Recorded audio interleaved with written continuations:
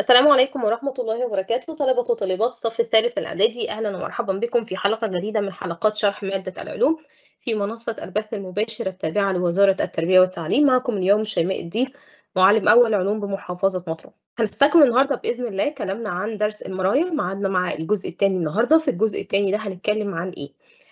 آه، أولا هنبدأ نكمل كلامنا في أنواع المرايا ما ننساش الحصة اللي فاتت إحنا اتكلمنا عن أول نوع من أنواع المرايا وهي المرآة المستوية. النهارده بإذن الله هنبدأ نتكلم على النوع التاني وهي المرايا الكرية ونبدأ بقى نفرق ما بين المرآة المحدبة والمرآة المقعرة وبعدين نبدأ ناخد المفاهيم الخاصة بالمرايا الكرية نقول بسم الله الرحمن الرحيم ونبدأ مع بعض الدرس بتاعنا النهارده. مبدئيا الشاشة دي شفناها قبل كده أنواع المرايا.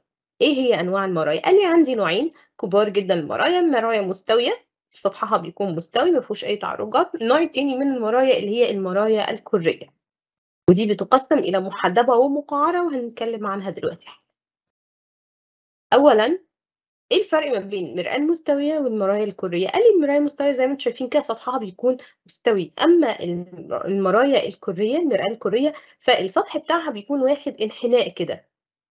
فبحس إن كان في كأن كورة موجودة وأنا قطعت منها جزء. يعني لو أنا عندي كورة كده وأخدت الجزء ده من الكورة قطعته. أهو. بقى جزء منحني. يبقى المراية الكرية بتاعتي هي عبارة عن مرآة سطحها العاكس جزءا من سطح كرة جوفاء. يبقى تعريف المرايا الكرية هي مرايا سطحها العاكس جزءا من سطح كرة جوفاء. كأن عندي كرة فاضية وأنا مقطعها المراية بتاعتي هي جزء من الكرة دي. تقسم المرايا الكرية إلى قسمين كبار مرآة مقعرة ومرآة محدبة. إيه الفرق ما بين الاثنين قال لي لو أنت مسكت المعلقه فالناحيه اللي أنت بتاكل بيها دي اللي هي بتكون منحنية للداخل دي اسمها مقعر. الجزء اللي بيلمع هو الجزء الداخلي. يعني أنا لو ماسك مراية والناحية اللي بتلمع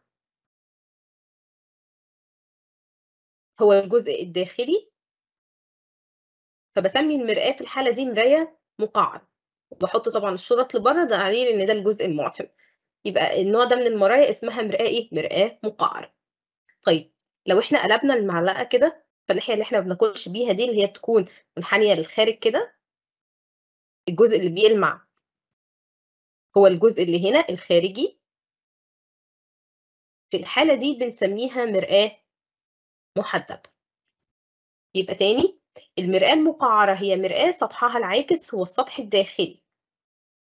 للكرة الجوفاء اللي تعتبر المراية جزء منها. السطح العاكس والسطح الداخلي. يبقى الأشعة لما بتسقط بتسقط من جوه على سطح العكس. طيب المرآة المحدبة هي مرآة سطحها العاكس هو السطح الإيه؟ الخارجي للكرة الجوفاء التي تعتبر المرآة جزءا منها. بصوا على الرسمتين وشوفوا كده إيه اللي حصل للأشعة اللي نازلة باللون الأحمر لما سقطت على المراية المقعرة والمرآة المحدبة. بالنسبة للمراية المقعرة زي ما أنتم شايفين لما سقطت عليها مجموعة من الأشعة المتوازية بدأت تجمعها لي كلها في نقطة واحدة. وبالتالي بنسمي المرآة المقعرة بأنها مرآة مجمعة للضوء أو مرآة لامة. أما المرآة المحدبة فلما سقطت عليها مجموعة من الأشعة الضوئية فرقتهم كل شعرة في حتة فهي مرآة مفرقة للضوء. يبقى تاني خدنا كده نوعين من أنواع المرايا. الكرية مرآة مفرقة للضوء أو مرآة آه، محدبة والنوع التاني هي المرآة المجمعة للضوء أو مرآة إيه؟ مقعرة. تعالوا بقى ندخل على الجزء اللي جاي وده جزء مهم جدا مفاهيم مرتبطة بالمرايا الكرية أول مفهوم هو مركز تكور المرآة. عشان نرسم أي دايرة في الدنيا أو كورة فالكورة بيكون ليها مركز. طيب هي مش المراية جزء من كورة؟ يبقى إذا برضو مراية ليها إيه؟ ليها مركز اسمه مركز تكور المرآة. إيه هو مركز تكور المرآة؟ قال لي هو مركز الكرة اللي المراية جزء منها. تاني مركز تكور المرآة هو مركز الكرة التي تعتبر المرآة جزءا منها. يبقى تاني مركز تكور المرآة يعرف بأنه مركز الكرة التي تعتبر المرآة جزءا منها. خدتوا بالكم من حاجة؟ بالنسبة للمراية المقعرة فمركز التكور بتاعها موجود فين؟ مش ده السطح اللامع ده الجزء الأمامي؟ يبقى مركز التكور في المرآة المقعرة يقع أمام المرآة المقعرة. طب في المراية المحدبة يقع في الجهة الخلفية. يبقى مركز التكور يقع أمام المرآة المقعرة وخلف المرآة المحدبة. يرمز لمركز تكور المرآة بالرمز م المفهوم التاني اللي إحنا عايزين نتكلم عنه هو نصف قطر تكوّر المرآة. بُصّوا القطر عندنا في الرياضة عارفين هو عبارة عن إيه؟ القطعة المستقيمة اللي بتوصّل ما بين المركز وأي نقطة. على سطح الإيه، الكرة بتاعتك أو الدايرة بتاعتك، فده اسمه نُص القطر. نفس الفكرة عندي هنا، بس أنا ما عنديش هنا كورة، أنا عندي هنا مراية، يبقى نصف قطر الكرة التي تعتبر المرآة جزءًا منها. نصف قطر تكوّر المرآة هو عبارة عن إيه؟ نصف قطر الكرة التي تعتبر المرآة جزءًا منها. أهو، التعريف التاني. أو هو المسافة بين مركز تكوّر المرآة وأي نقطة على سطحها العاكس. لو وصلت بالمنظر ده كده من المركز لأي نقطة على سطح العاكس ده اسمه برضه نصف قطر تكوّر المرآة ويرمز ليه بالرمز نق. يبقى المسافة بين مركز تكوّر المرآة وأي نقطة على سطحها العاكس أو نصف قطر الكرة التي تعتبر المرآة جزءًا منها. قطب المرآة شايفين آآ نقطة القطب موجودة فين؟ قطب المرآة نقطة موجودة على السطح العاكس. طب فين بالضبط يا شباب؟ في منتصف السطح العاكس، فبنعرّف قطب المرآة ق بإنه نقطة وهمية.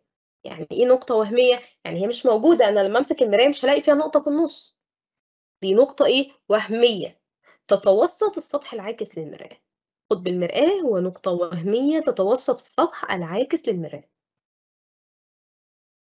المحور الأصلي للمرآة. المحور الأصلي للمرآة اللي هو عبارة عن الخط المستقيم م ق، من اسمه م وق يعني خط مستقيم هيمُر بم اللي هي كانت مركز تكوّر المرآة وق اللي إحنا كنا بنسميها قطب المرآة.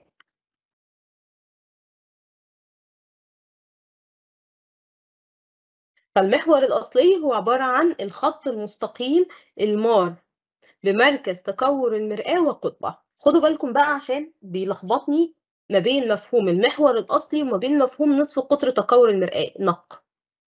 بُصّوا. نق مسافة من م لق بس. بدون ما أزوّد أو أنقّص. ده اسمه إيه؟ ده اسمه نق. أمّا المحور الأصلي فآدي م وآدي ق، هاعدّي بالنقطتين وأكمّل. دي قطعة مستقيمة وده خط مستقيم. المحور الأصلي خط مستقيم، ما لوش بداية ول ولا نهاية، لكن نصف قطر ليه بداية وليه نهاية، فلمّا آجي أقول لك في التعريف الخط الواصل حُط تحت كلمة الواصل دي 7000 نقطة كده، بين مركز تكوّر المرآة وقطبها. واصل يعني إيه؟ هيوصّل لي من هنا لهنا. يعني دي نقطة بداية ودي نقطة نهاية، فأنا كده باعرّف نصف قطر تكوّر المرآة. لكن لو قال لي الخط المار مار يعني هيعدّي بالنقطتين ويكمّل، يبقى ده محور أصلي. تمام شباب؟ يبقى المحور الأصلي للمرآة هو عبارة عن المستقيم المار بمركز تكوّر المرآة وقطبها. مفهوم تاني اسمه المحور الثانوي. المحور الثانوي بقى هيمُر بمركز التكوّر خط مستقيم برضه خدوا بالكم، هيمُر بمركز التكوّر وأي نقطة تانية على سطح المرآة ما عدا القطب. حد فَهم ليه ما عدا القطب؟ لإنه لو مَر بالقطب اللي إحنا لسه واخدينه تعريف من شوية اللي هو المحور الإيه، الأصلي. المستقيم المار بمركز تكوّر المرآة وأي نقطة على سطحها خلاف قطبها غير قطبها، ده اسمه المحور الثانوي للمرآة. لكل مراية محور أصلي واحد والعديد من المحاور الإيه، الثانوية. يبقى خدوا بالكم لكل مرآة محور أصلي واحد والعديد من المحاور الثانوية. لإن أنا ما عنديش غير خط مستقيم واحد هو اللي هيمُر ما بين م وق، لكن عندي أكتر من خط مستقيم بقى يقدر يمُر بم وأي نقطة تانية على السطح ما عدا القطب. فيوجد عندي محور أصلي وعد واحد وعدد لا نهائي من المحاور الإيه، الثانوية. لحد كده يا شباب في مشكلة؟ تمام، يالّا بينا نكمّل؟ المفهومين اللي جايين دول مهمين جدًا، بس قبل ما نتكلّم عنهم تعالوا نبُص على الرسمة اللي تحت كده الأول. هنا مرآة مقعّرة. سقطت عليها مجموعة من الأشعة زي ما أنتم شايفين الأشعة دي متوازية. طب متوازية وإيه؟ قال لي متوازية وفي نفس الوقت هي موازية للمحور الأصلي. في مجموعة من الأشعة سقطت على مراية مقعّرة والأشعة دي متوازية وموازية للمحور الأصلي. زي ما أنتم شايفين الأشعة مجرّد ما خبطت في المراية ارتدت واتجمّعت كلّها في نقطة واحدة اسمها الإيه؟ اسمها البؤرة الأصلية للمراية.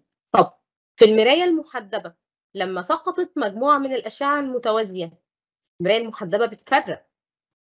فرقت الأشعة. بس بحيث لو أنا جيت عملت امتداد للأشعة هلاقي الامتداد اتقابل في نقطة وهمية خلف المرآة دي برضو اسمها باء. طب إيه الفرق ما بين البؤرة دي وما بين البؤرة دي؟ باء يعني بؤر. بصوا شباب البؤرة الأصلية في حالة المرآة المقعرة بتنشأ من تلاقي الأشعة الضوئية بعد انعكاسها الأشعة نفسها اتقابلت وبالتالي البؤرة بتكون في الجهة الأمامية من العدسة بتكون بؤرة حقيقية لأنها نتجت من تلقي الأشعة يعني بؤرة حقيقية يمكن استقبالها على حائل. يعني أنا لو حطيت ورقة كرتون هنا أستقبل عليها نقطة مضيئة الأشعة اتقابلت في نقطة مضيئة. هنا بقى. لا الأشعة بتتفرق وبالتالي الأشعة ما اتجمعتش. أمال إيه اللي اتجمع؟ قال لي اللي اتجمع هو امتداد الأشعة. أنا اضطريت أمد أنا الأشعة بمسطرة عشان أتأكد إذا كان الامتدادات اتجمعت ولا لأ. تمام؟ فاللي اتجمع هنا هو امتداد الإيه؟ الأشعة الضوئية بعد الانعكاس. طب اتجمعت في نقطة فين؟ نقطة خلف المرآة. وطالما هي خلف المرآة فالنقطة هنا هي نقطة تقديرية. بؤرة تقديرية. يعني إيه بؤرة تقديرية؟ يعني حضرتك لما تيجي تحط حتة كرتون ورا المراية المحدبة مش هتستقبل عليها صورة. مش هتلاقي أي نقطة مضيئة ورا لأن البؤرة بؤرة ها تقديرية. فهنا الأشعة تجمعت لكن هنا امتداد الأشعة هو اللي اتجمع. خدوا بالكم لما يجي يقول لي قارن ما بين البؤرة الأصلية المراية المقعرة والبؤرة الأصلية المرآة المحدبة فهو ده المقارنة بتاعتي. طب لو أنا بقى عايزة أحط تعريف البؤرة الأصلية بشكل عام فقال لي البؤرة الأصلية تعريفها هي مركز تجمع الأشعة الضوئية المنعكسة أو امتداداتها. أنا عايزة أعرف البؤرة الأصلية بس من غير بقى ما نحدد إذا كانت لي المرآة مقعرة أو محدبة فهجمع التعريفين مع بعض وأقول مركز تجمع الأشعة الضوئية المنعكسة أو امتداداته إمتى؟ لما تسقط الأشعة متوازية وموازية للمحور الأصلي يبقى ده تعريف البؤرة الأصلية للمرآة ويرمز ليها بباء مركز تجمع الأشعة الضوئية المنعكسة ده كان في حالة المرآة المقعرة أو امتداداتها وتنشأ من سقوط الأشعة إمتى؟ متوازية وموازية للمحور الأصلي مفهوم تعريف البؤرة شباب؟ تسنيم بيسألني امتدادات الأشعة نقدر نشوفها ولا لأ؟ هي تسنيم مفيش حاجة أصلا اسمها امتداد أشعة. في حاجة اسمها أشعة ما اتقابلتش أنا بقى بتخيل إنها اتقابلت في نقطة يعني أنا اللي بعمل الامتداد بنفسي. لكن هي في الحقيقة مفيش حاجة اسمها امتدادات أشعة. تمام؟ طبعا ما بشوفهاش هي تسنيم. عشان كده لو أنت خدتي بالك إن أنا لما باجي أرسمها نرجع تاني كده. لما بنيجي نرسمها بنرسم نقط أو خط متقطع. خط متقطع معناها إن ده مش موجود أصلا أنا اللي عامله. طيب في مفهوم جديد اسمه البعد البؤري. إيه هو البعد البؤري؟ قال لي البعد البؤري هو المسافة ما بين البؤرة الأصلية للمرآة وسطح المرآة العكس. البعد البؤري عين هو مسافه ما بين البؤرة الأصلية والقطب.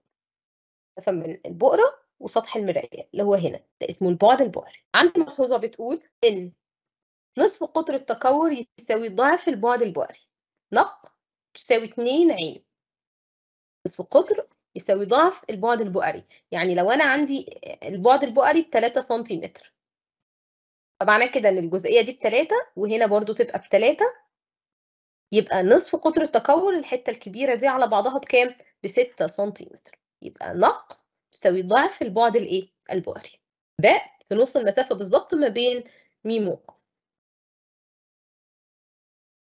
تعالوا نشوف الملحوظة اللي جاية دي. بيقول لي طبقا لأسطورة يونانية. المرايا المقعرة تم استخدامها كسلاح ضد الأسطول الروماني اللي قام بغزو صقلية كان في أسطول بيهاجم مدينة صقلية فكانت من طريقة الدفاع اللي اقترحوها إن هم يجيبوا مرايا مقعرة عملاقة ويوجهوها تجاه أشرعة السفن بحيث تكون بؤرة المراية على شراع السفن بالظبط فتبدأ تجمع الأشعة الضوئية كلها وبالتالي ترفع درجة الحرارة وتؤدي ويؤدي ذلك إلى احتراق الإيه الشراع بتاع السفينة يبقى إيه السبب في استخدامي للمراية المقعرة تحديدًا؟ ليه ما استخدمتش مستوية ولا مثلًا محدبة؟ قال لي لأن المراية مقعرة مراية مجمعة للضوء، هتجمع الأشعة كلها في نقطة واحدة اللي إحنا كنا بنسميها من شوية البؤرة، وبالتالي ترفع درجة الحرارة، كأنك ركزت أشعة الشمس كلها في حتة واحدة. نشوف كده التجربة اللي جاية لتعيين البُعد البؤري لمرآة مقعرة، عشان نعين البُعد البؤري لمرآة مقعرة هنعتمد على التعريف بتاع البؤرة اللي إحنا لسه قايلينه. مش البؤرة كانت عبارة عن مركز تجمُّع للأشعة الضوئية المنعكسة أو امتدادها؟ طب أنا هنا باعيّن آآ بُعد بؤري لمرآة مقعرة، فهاقول إنه مركز تجمُّع الأشعة الإيه؟ الضوئية. طيب تعالوا نشوف مع بعض كده هنعملها إزاي. قال لي أول حاجة أنت هتستخدم في المر في التجربة دي زي ما إحنا اتفقنا من شوية، هنستخدم أشعة الشمس وهيبقى معانا مرآة والحامل بتاع المرآة وهيبقى معانا حائل. فأول حاجة إن أنا هاجيب المراية وأثبّتها في مواجهة أشعة الشمس. فالمفروض إن أشعة الشمس بتاعتنا هتسقط على المراية.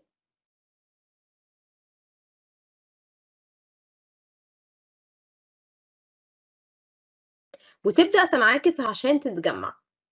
طيب أنا هاعمل إيه بقى؟ أنا هامسك الحائل بتاعي ورقة ب بتاعتي وأبدأ أحطها هنا قدّام المراية وأقرّبها وأبعدها لحد ما أحصل على أوضح بقعة مضيئة. عارفين أنتم لمّا تمسكوا كشاف وتقرّبوه من الحيطة، هتلاقوا إن أنتم مثلًا إيه، لمّا بتقرّبوا الكشاف كل مرّة بتلاقوا إن الدايرة بتصغر وبتكون أوضح. لحد ما بتقرّبوا لنقطة معيّنة بتلاقوا فيها إن الدايرة أكثر وضوحًا، يعني صغيّرة جدًا وواضحة أوي.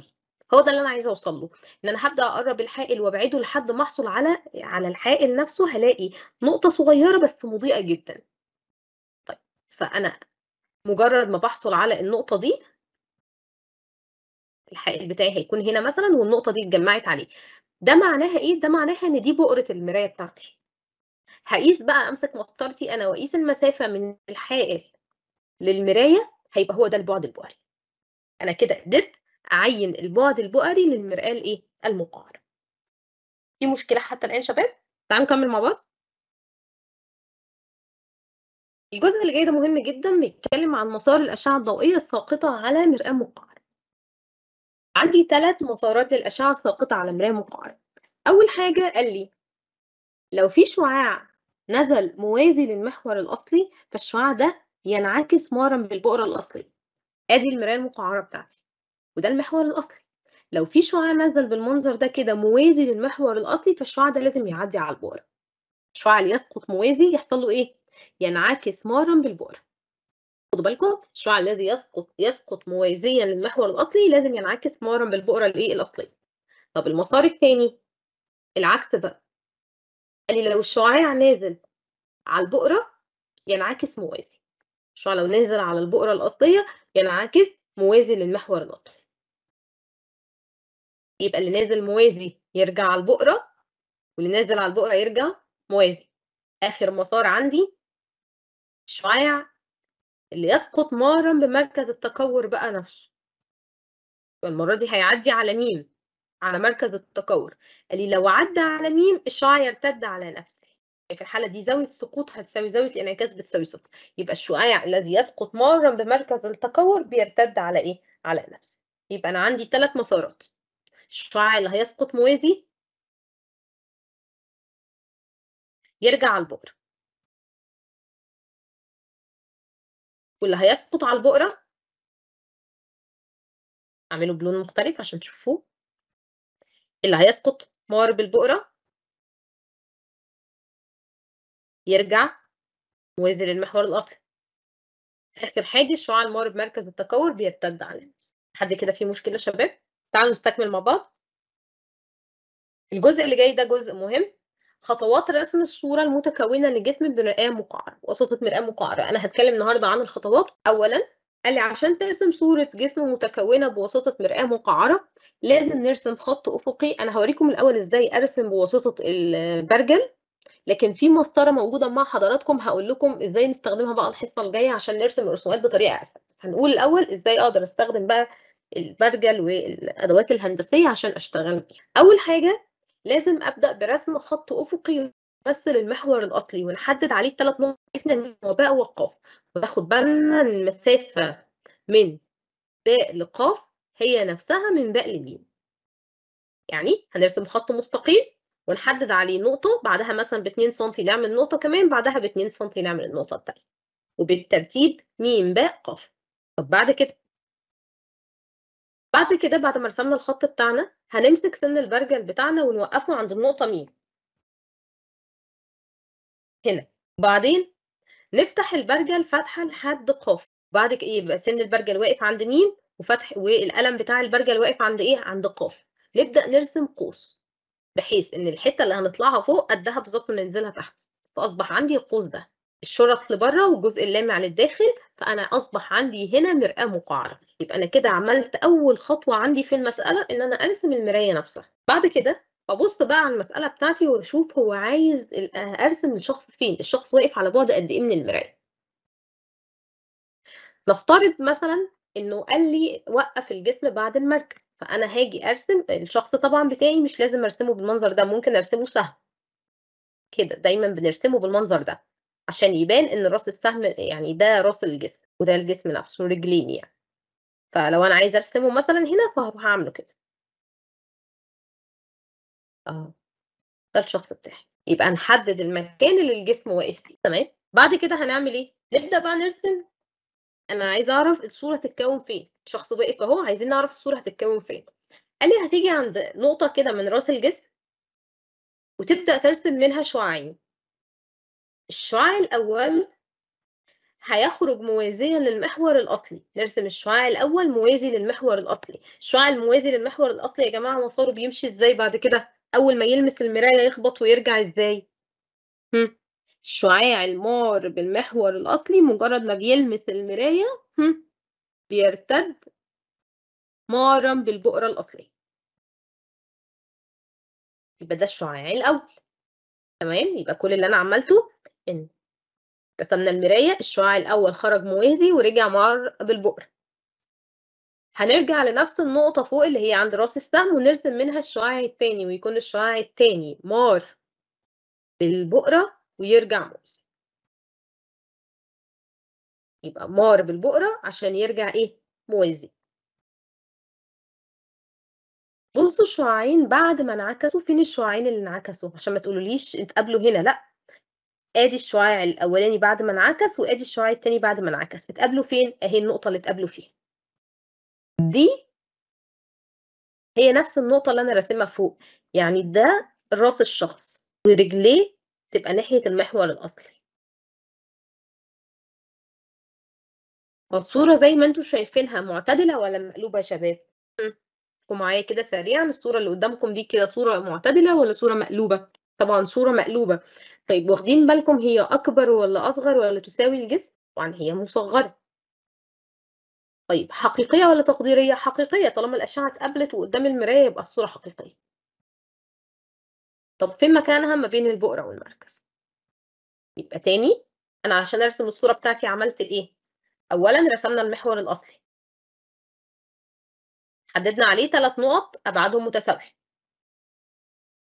م، و، ب، وق. رسمنا المراية.